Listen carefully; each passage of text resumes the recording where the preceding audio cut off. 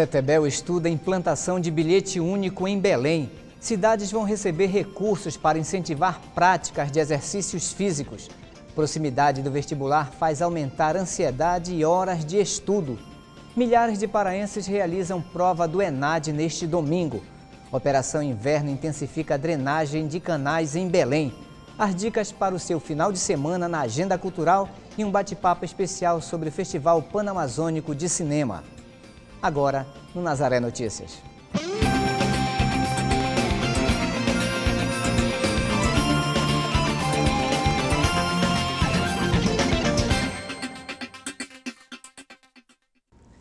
Bilhete único.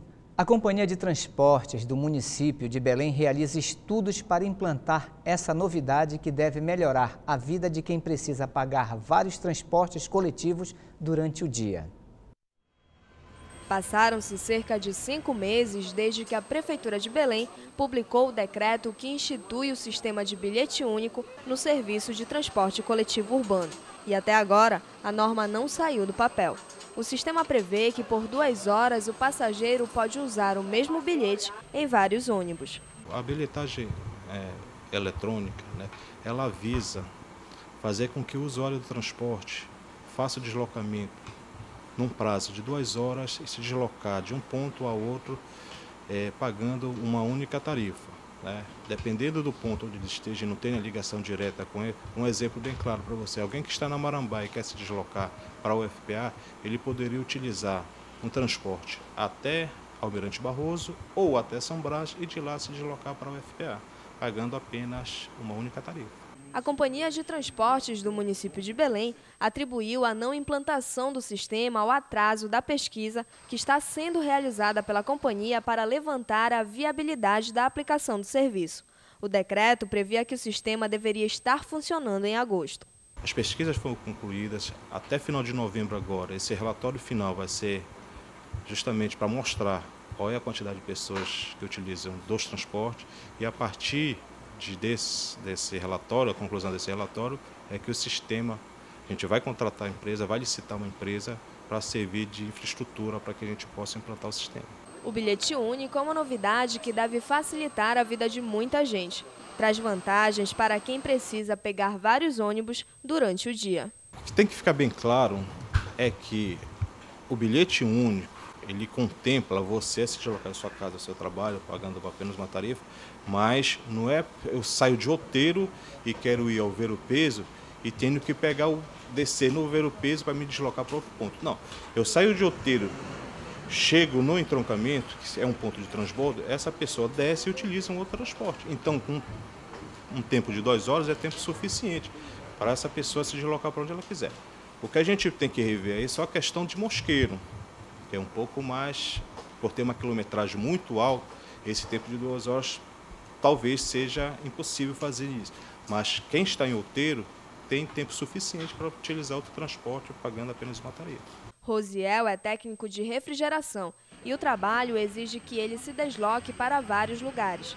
Pagar uma única tarifa melhora o orçamento no fim do mês. Creio que sim, né? Porque dependendo se for duas horas, às vezes em duas horas eu pego até quatro, três ônibus em duas horas. Então ia pagar uma passagem, né? Para mim ia ser muito bom. O INSS gasta 8 bilhões de reais por ano com despesas decorrentes de acidentes de trânsito.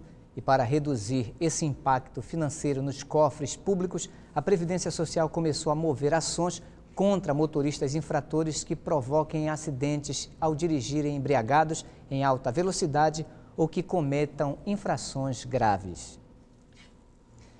Cidades da região norte vão receber recursos para a saúde. O investimento será feito para incentivar a prática de exercícios físicos. O Ministério distribuiu prêmios às cidades que inspiraram o projeto Academias da Saúde, lançado em abril deste ano. A secretária municipal de Curitiba saiu feliz e mais leve. Ela conta que lá os moradores podem se exercitar de graça em praças e até em unidades de saúde, com a supervisão de professores. Curitiba tem feito também os clubes da gente, que são como se fossem clubes que tem piscina, tem várias atividades para a população realmente poder usufruir e estimulando a atividade física para a população em geral. O governo quer que 4 mil municípios coloquem a estratégia em prática até 2014. 2 mil vão receber os recursos ainda este ano. 180 mil reais para a compra dos equipamentos de ginástica e 36 mil reais por mês para o custeio com os profissionais. No Amazonas, serão 10 municípios com o projeto Academias da Saúde. No Amapá, 2 em Rondônia 9 e em Roraima 3. Nos bairros onde estão os polos da academia, você tem um aumento até de três vezes no número de pessoas que fazem atividade física controlada de forma regular. E o fato das pessoas conhecerem, por isso que nós temos que colocar em locais públicos, conhecerem o programa Academia da Saúde, verem que ele está no parque, próximo à unidade de saúde, aumentou em até duas vezes o estímulo para as pessoas fazerem atividade física. A rede de farmácias Brasil Farma fechou acordo para a compra do grupo Big Ben por mais de 453 milhões de reais. A Big Ben tem 146 lojas nos estados do Pará, Amapá, Maranhão, Piauí, Paraíba e Pernambuco. É a líder do setor farmacêutico na região norte. Nos últimos 12 meses, ela teve um faturamento de cerca de 800 milhões de reais. A atual administração continuará auxiliando na gestão do negócio por um prazo mínimo de três anos. Faltando menos de um mês para o vestibular 2012, o Centro de Processo Seletivo da UFPA já está em fase final de preparação para as provas. Por outro lado, os candidatos ficam mais ansiosos e aumentam as horas de estudos. Salas de aula lotadas, dúvidas, perguntas e muita explicação. É neste clima que estão os cursinhos de Belém, faltando menos de um mês para o vestibular 2012. Quem estava sozinho agora faz parte de grupos de estudos. Quem vai tentar o processo seletivo pela primeira vez revela insegurança. Eu estou me preparando com o tempo, mas ainda como falta ainda um, praticamente um mês, então eu não estou totalmente preparada 100%. Mas eu tenho que estar me sentindo preparada até a prova. Este candidato vai tentar o curso de Geofísica da UFPA. O esforço nos estudos resultou em saldo positivo. Me sinto preparado sim, com auxílio do físico, eu faço convênio, ajuda de, de exercício, assim eu me sinto bem, bem, bem disposto a fazer o vestibular. Assim também para esta outra aluna que vai disputar uma das vagas de Direito da Universidade Federal do Estado. Eu me sinto preparada porque a prova da FPA é muito técnica, é muito conteúdo, é regional, então a gente se prepara bastante. Para amenizar a vida de quem está há quase 12 meses em cima de livros e estudos, algumas dicas importantes. Nessa reta final, é importante que o aluno ele faça um planejamento, né? monte um horário de estudo de segunda a sábado, domingo ele pode descansar um pouquinho, que é importante também, né? de preferência que ele foque nesse, nesses horários dele, coloque todas as disciplinas, né? física, química, história, biologia, mas que ele reforce aquele ponto fraco dele. Aulas de revisão também ajudam a lembrar e tirar dúvidas de questões que podem cair nas provas. A revisão de véspera é de grande importância. Né? O aluno, no, no dia anterior à prova, ele está reunido com todos os seus amigos, com todos os professores, é um momento descontraído, onde o aluno ele vai ter aulas de dicas. E logo depois sempre tem um momento descontraído, com uma banda, em que o aluno ele vai poder descontrair a mente, para que no próximo dia ele possa fazer uma prova tranquila né, e com certeza chegar ao êxito dele.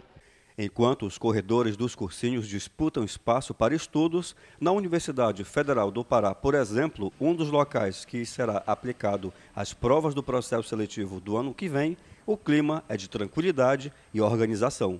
E nós estamos trabalhando intensamente, principalmente porque no dia 13 de novembro nós já temos a prova de habilidades do processo seletivo 2012 e nós então estamos finalizando já a preparação das provas, iniciando a reprodução das provas e também a operacionalização do exame de habilidades, agora em novembro. Na UFPA, haverá dois cursos inéditos, além da criação de 675 novas vagas em 18 cursos de graduação.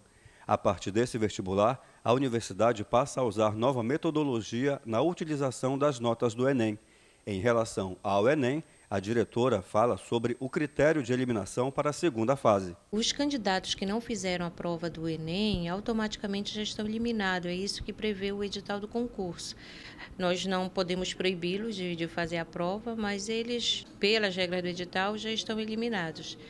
E aqueles candidatos também que uh, receberam é, zero na prova de redação também estarão eliminados. E os que tiraram zero em alguma das quatro áreas do Enem estão eliminados do processo. E diz ainda quais os procedimentos que o Centro de Processo Seletivo está tomando para que ocorra tudo como esperado no dia da prova. Nós estamos fazendo os procedimentos de rotina, né? com, é, contatando com as unidades onde nós vamos aplicar as provas. Estamos alterando algumas unidades, porque algumas unidades apresentam é, algumas condições talvez não sejam tão apropriadas, então nós estamos mudando e colocando outras unidades. E também já conseguimos né, a, a um conjunto de unidades que dão conta do excedente que nós tivemos em relação ao ano passado. Lembra que o candidato deve ficar de olho no exame de habilidade. No dia 13 de novembro, os candidatos que se inscreveram para o curso de teatro, dança, música e artes visuais devem realizar o exame de habilidades. Caso esses alunos não sejam aprovados, eles ficam inscritos automaticamente na segunda opção que eles apresentaram no ato da inscrição.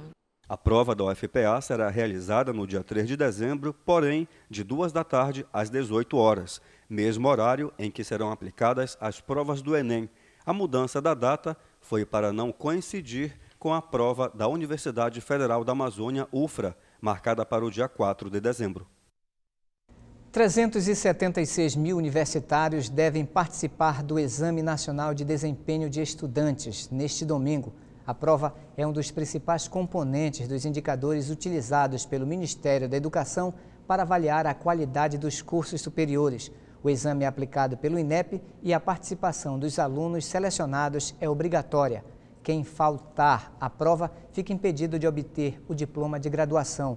A partir deste ano, apenas os alunos concluintes farão a prova. Na região norte, o ENAD começa às 12 horas e será aplicado em 1.365 municípios.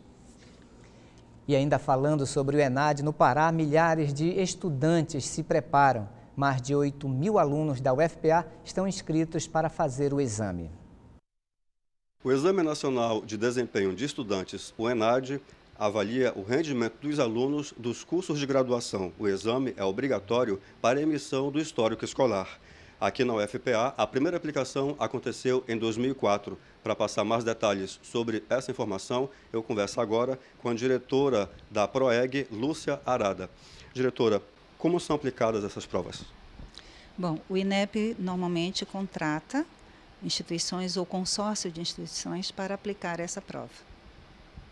Como foram as notas das últimas provas aqui da UFPA? Bom, nós ainda não recebemos o resultado de 2010, que deverá ser emitido na próxima semana. Mas em 2009 nós tivemos um desempenho de razoável para bom. Né? O IGC institucional ficou em três, mas nós esperamos aumentar esse IGC nos próximos. E quais cursos serão avaliados?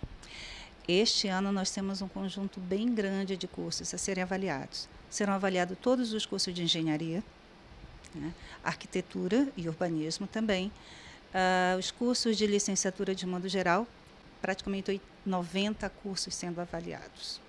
Diretora, qual a importância do ENAD o ENAD ele é importante no sentido em que nós podemos, é, é uma forma de avaliação externa dos nossos cursos de graduação, de todos os cursos de graduação no Brasil. Né? E é interessante também porque essa avaliação ela é feita de forma comparativa entre os cursos né, na mesma área no Brasil inteiro, que são ofertados no Brasil inteiro. Então, além da gente ter aquela nota de desempenho do nosso aluno, essa nota ela é equalizada, né, normatizada perante todos os cursos daquela mesma área que está sendo avaliada no Brasil. Houve uma mudança no ENAD deste ano com relação a ingressantes e concluintes. Sim, esse ano eh, o INEP estabeleceu que nós devemos inscrever todos os alunos que ingressaram este ano, em cada curso que está sendo avaliado, todos os alunos concluintes e prováveis concluintes desse ano. No entanto, os ingressantes não farão a prova. eles estão considerando uh, que, como a maioria das instituições utilizam o Enem, né, seja para ingresso, prova única para ingresso na instituição, seja como parte né, do processo seletivo, eles devem considerar os, as notas do Enem desses alunos ingressantes. Okay. Obrigado pelas informações. Para o ENAD deste ano, aqui no FPA, que acontece no dia 6 de novembro, foram inscritos mais de 8 mil alunos. Ivaldo Souza para o Nazaré Notícias. E você acompanha a seguir. Operação Inverno intensifica a drenagem de canais em Belém. As dicas para o seu final de semana na agenda cultural e um bate-papo especial sobre o Festival Panamazônico de Cinema. Os produtos que compõem a cesta básica registraram aumento nos preços pelo quinto mês consecutivo. De janeiro a outubro, a cesta básica já sofreu reajuste de cerca de 5,20%. Segundo a pesquisa do Diese, os 12 produtos são vendidos a R$ 237,85, comprometendo 47% do salário mínimo. O item que ocasionou o aumento no valor da cesta foi o leite, com alta de 3,67%. Para alimentar uma família composta por dois adultos e duas crianças, o trabalhador teria que desembolsar R$ 713,55, sendo necessário mais que um salário mínimo para garantir as necessidades apenas com a alimentação. A maioria das 17 capitais pesquisadas sofreu aumento no valor dos produtos, sendo a cesta básica paraense uma das 10 mais caras do país. O Tribunal de Justiça do Pará determinou que a Norte Energia conceda à Defensoria Pública Estadual as informações sobre acordos de indenização que a empresa fez com as pessoas que devem deixar suas casas na região do Rio Xingu. A empresa é responsável pela construção da usina hidrelétrica de Belo Monte. Na ação, a Defensoria afirma que a empresa negou acesso a documentos de 180 famílias de agricultores, ribeirinhos e pescadores que já fizeram o acordo. Segundo a Defensoria, os valores pagos foram abaixo do mercado e não tiveram critério técnico. A Norte Energia ainda não se manifestou sobre a decisão. Caso descumpra a determinação judicial, a empresa terá de pagar multa diária de 50 mil reais. A gestão municipal de Belém intensifica a drenagem dos canais da cidade na Operação Inverno. A parceria com a população é o maior desafio para manter os canais desobstruídos e evitar alagamentos e enchentes durante o período chuvoso. As chuvas já começaram na capital paraense. Durante esse período, é comum os alagamentos na cidade. Para evitar esses transtornos, a Secretaria Municipal de Saneamento já começou a chamada Operação Inverno. Na verdade, nós temos duas vertentes né, na resposta. A primeira, porque a natureza nos obriga, né, pelos sedimentos que são naturais, da, da gente fazer exatamente a limpeza do canal, a manutenção do canal e a dragagem do canal. Mas o que nos dificulta é exatamente os entulhos, a sujeira que as pessoas, por uma questão talvez do pouco saber a respeito, acabam incrementando. Isso nos obriga a, uma, a um trabalho muito mais árduo. Belém é uma cidade cortada por 68 canais, distribuídos em 14 bacias. Segundo especialistas, essa quantidade de canais deveria ser um privilégio na capital. Esses canais, que na verdade são 68 canais, eles são e servem como escoadouro natural para que a gente possa não sofrer os alagamentos normais está acontecendo. Aquilo que seria uma benesse está se tornando um tormento pela falta de consciência. E, lamentavelmente, com os entulhos em que estamos é, verificando que se encontram nas encostas e, e dentro deles, estão tomando um vulto de alagamento, porque eles retêm a quantidade de água. O objetivo do trabalho é minimizar as consequências da combinação da maré alta com as chuvas. Para isso, é importante a parceria com a população. A maior parte das pessoas, ou grande parte das pessoas, principalmente jovens, eles têm tomado uma consciência importante porque essa educação ambiental que nós, a cada momento em que fizemos uma limpeza em canal, nós levamos às casas, elas são, elas são recebidas pelos jovens, pela criança, de uma forma muito, digamos assim, inteirada. Eles querem interagir. Este canal, na 3 de maio, já foi drenado, mas a quantidade de lixo no entorno do canal deve acarretar sérias consequências para quem mora nesta rua. Laga demais, isso aqui enche tudinho, isso aqui. E esse entulho todo aí? Esse entulho às vezes vem buscar aí. É, né? Tem que ficar telefonando para vir buscar aí. Muito carapanã aqui. Agora vai chegar o inverno, né? O negócio de dengue, esse negócio. A limpeza dos canais deve continuar, mas as dificuldades do trabalho são muitas. Um deles que, que a gente tem uma dificuldade grande é o da Mundurucus. Exatamente que pode ser verificado agora, nós estamos dentro de uma extensão de 2 quilômetros que ele tem, porque ele vai até o Tucunduba, nós, vamos, nós já estamos com 300 metros. Nesses 300 metros, nós estamos tirando lodo e grande parte de entulho. São 500 toneladas dia que nós estamos tirando. Então, essa, essa dificuldade, ela poderia ser minimizada, seria metade, só o lodo que estaria. Então, esse é um canal que nós temos um grande, um grande problema. Dentro de cinco anos, o Brasil estará produzindo o principal medicamento para o tratamento da doença de Parkinson no país. A produção nacional do remédio será feita pela Fundação Oswaldo Cruz. Um acordo assinado ontem no Rio de Janeiro deu início à transferência da tecnologia alemã para técnicos do Instituto de Tecnologia em Farmacos. A doença de Parkinson é degenerativa, crônica e progressiva e que atinge principalmente os idosos. E você acompanha agora a Agenda Cultural. Grupo de teatro de bonecos Mão Malenga de Pernambuco se apresenta neste final de semana no Teatro Gasômetro com o espetáculo Filmágico. Outra sugestão para o seu final de semana é a exposição Ver o Peso, que está aberta ao público no canto do patrimônio do IFAM e mostra a variedade de cheiros, cores e texturas que só o maior mercado da América Latina possui. A entrada da exposição é franca. O Festival Amazônia Doc 3 inicia amanhã com sessão especial às 19 horas no Cine Olímpia. A entrada é franca. E mais uma dica para o final de semana: o grupo folclórico Frutos do Pará se apresenta hoje na Orla da Estação das Docas, em Belém. O espetáculo Amazônia Lendária tem início às 18 horas e a entrada é franca. Durante quase uma hora de apresentação, o grupo vai mostrar ritmos da cultura paraense. Longas, médias e curtas metragens de ficção e documentários serão exibidos ao público durante a, o Amazônia Doc 3. A repórter Caroline Pinho conversou com um dos organizadores do festival e tem mais detalhes. Do dia 5 ao dia 11 de novembro acontece em Belém o Festival Panamazônico de Cinema. A programação desse ano traz 17 filmes e ainda oficinas abertas ao público. Para ter mais informações sobre o festival, eu converso agora com Marco Moreira, que é produtor do festival e presidente da comissão de pré-seleção dos filmes. Como é que está organizada a programação desse ano? Olha, basicamente se repete a, a programação dos dois anos anteriores. Na realidade, é a terceira edição da Amazônia Doc. Amazônia Doc, Festival Pan-Amazônico de Cinema, assim, o objetivo principal é dar visibilidade, na verdade, para as realizações, para as obras audiovisuais realizadas nos nove países que compõem a Pan-Amazônia. A mostra competitiva, que começa no dia 5, dia 11, no Cine Olímpia, vão ser exibidos, é, ao todo são 19 filmes, sendo 12 longas e 7 curta-metragens. Vamos ter a Mostra Pan-Amazônica, que vai ser exibido filmes dos nossos países vizinhos da Amazônia, como se costuma dizer, que são filmes na Venezuela, Equador, Bolívia. Vamos ter uma mostra Bruno de Assis, que é uma homenagem ao Bruno, que faleceu no início desse ano, infelizmente, uma pessoa da área do audiovisual aqui.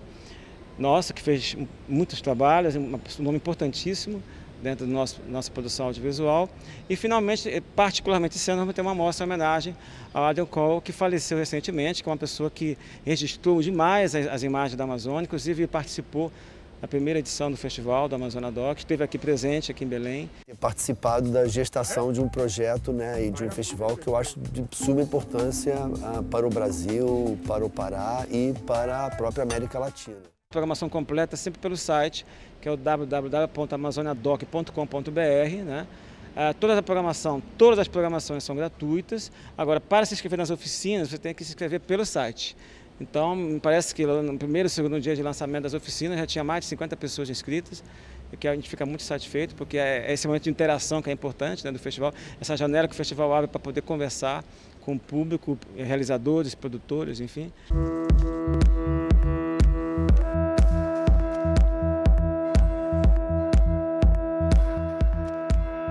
Agora outra coisa bem legal é que esse ano foram 254 filmes inscritos, né? Daqui de vários estados do, do país, de outros países. Como é que é feita a seleção dos filmes que participam? Foram 19 escolhidos? Como é que vocês chegaram nesse número? Olha, deu um trabalho danado, né, como eu costumo dizer, mas foi um prazer enorme. Eu, não é a primeira vez que eu participo desse comitê de pré-seleção. Você vê mais de 250 filmes, 254 ao todo. Você tem uma noção enorme sobre a produção né, para a Amazônica. Né? No caso do Brasil, vários estados enviaram seus filmes. Eu fiquei muito satisfeito com o que eu vi.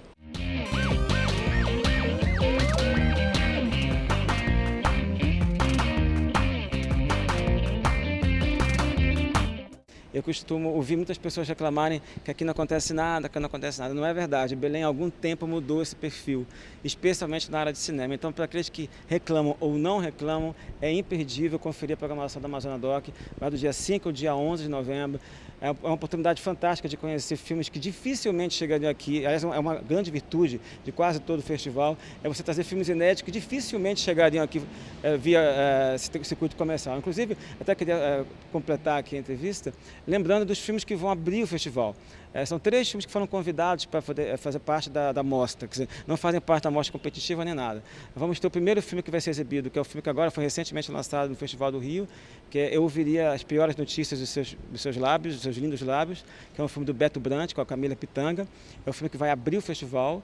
No dia seguinte vai ter um outro filme convidado, um belíssimo filme que eu já vi em, em Gramado, que é Uma Longa Viagem, da Lúcia Murar, um documentário fantástico, belíssimo trabalho dela, premiado em, no Festival de Paulínia. E vai encerrar com As Hipermulheres, que é um documentário sobre os índios. Por favor, verifique no site oficial da Amazonadoc, que é o www.amazonadoc.com.br. Marco, obrigada pelas suas informações. Caroline Pinho, para o Nazaré Notícias.